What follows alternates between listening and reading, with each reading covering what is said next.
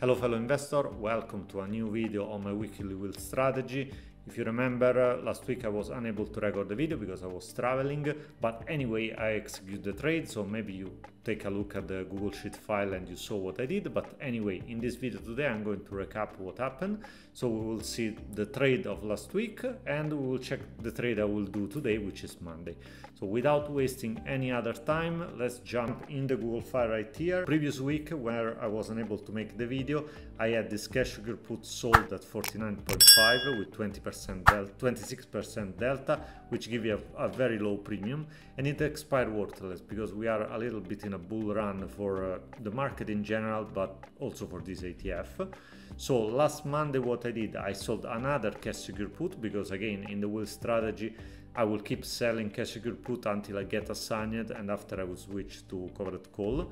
This time I really try to push as much as possible because I want to get a assigned just for the purpose of this video. So I sold at 51, which I cannot say was in the money, but was almost in the money.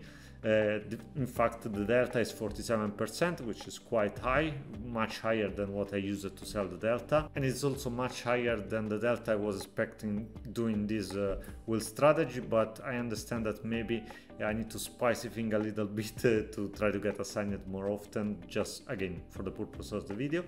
So 47%, uh, 25 as a premium, I mean after commission 24.1, uh, which is quite good comparing the commission I got uh, in the other weeks. So let's take a look at my Interactive Broker account, let's see what happened. Here is the trade that expired worthless, this was a cash secure put at 51 as you can see, expired worthless because uh, the ETF was uh, higher than the strike price. So just to summarize again, when you sell cash secure put and the price of the ETF or the stock end up higher than the strike price, you don't get assigned. If you go lower than the strike price, you get assigned and you're forced to buy 100 share at the strike price. In this case, I didn't get assigned because the price, as I said, was lower. So let's now take a look again to XLF and try to sell uh, a very uh, again not an in the money cash secure put but almost let's go to the option chain with expiration in four days on friday 6th of december.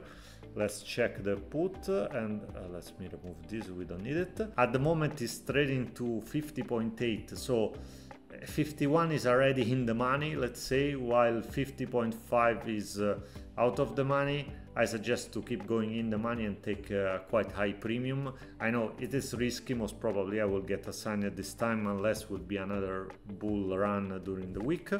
Let's check it. Oh, again, sell order. I always do this mistake.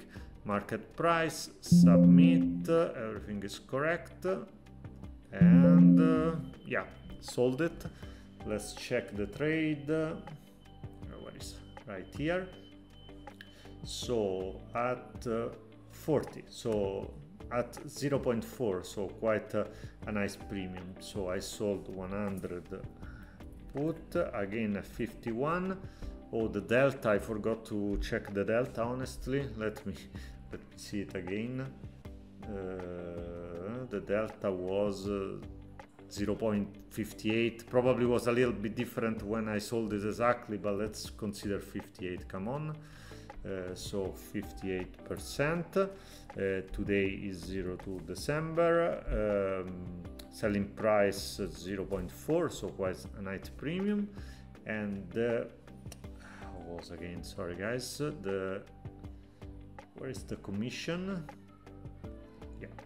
Commission 1.05 so commission 1.05 so a premium of 39 uh, exactly $39 which is higher than all the premium I got up to now. This because I'm getting riskier and riskier. I'm trying to raise as much as possible the delta. This time I basically sold in the money so I need to hope for a bull run in the market Oh, I want also to say that uh, I added this column on the file. Uh, I explained in previous video that maybe I should have done before and I did it right now. So here when my call option got assigned, so, so I'm forced to sell 100 share of the ETF. In that situation, I will write here if I got uh, a gain or a loss because uh, In this case, uh, the cash secure put uh, was assigned here at 47, so I booked 100 share at 47, and two weeks later I was forced to sell at 47.5. So the 0.5 at the end is a capital gain, and I needed to write right here. In the moment I will get assigned again to a cash secure put, when I will get assigned to a covered call, if there will be a loss or a gain, I will write it right here. Consider we arrived to week 8 uh, of this, uh, let's say, project. Uh, I will probably think uh, to continue, but I want to take a moment uh, just to show what is happening right now and what is the situation. As you can see at the moment uh, I had uh, in premium 166 dollar plus plus 50 of capital gain so we are talking about 215 dollar. But at the same time if instead to do all this wheel strategy I will just buy 100 share of this ETF at 46 that was my first strike price right now I will have an unrealized gain of 479 so you can think about uh, why I need to do this wheel strategy. I mean, it's completely useless. No, it's not exactly like that. I think I will going to make a video about that, but right now I want to explain uh, as fast as I can. It doesn't matter which option strategy you're doing. The, it doesn't exist an option strategy that will be better than the market in any market condition. This is impossible, otherwise people will not uh, invest uh, in the market directly will just run this kind of option strategy. So there is always a situation where the market can be much better than the option strategy. And a bull market is always better than selling covered call or cash secure put or wheel strategy or whatever selling option you can think about. Selling option or writing option how we want to call it is a way to cap your gain. Get a premium but cap your gain in case of a bull market. And this is quite clear and you can see the result. The best result you can get from a wheel strategy is when the market is fluctuating. When the market is fluctuating, you will have a huge capital gain and after huge capital loss considering that you are not selling your stock i expect because it's a bull is a, a buy and hold strategy you will see your unrealized gain goes up and down while if you instead run a wheel strategy you will get the premium at least this premium will be in your pocket the asset value will remain basically the same because it's fluctuating, but you get huge amount of premium.